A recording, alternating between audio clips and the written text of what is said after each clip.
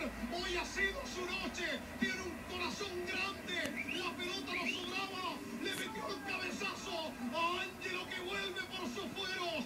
Enrique preñando la red. Enrique. Chile le gana, gana. Chile se acerca a semifinales acá en Turquía.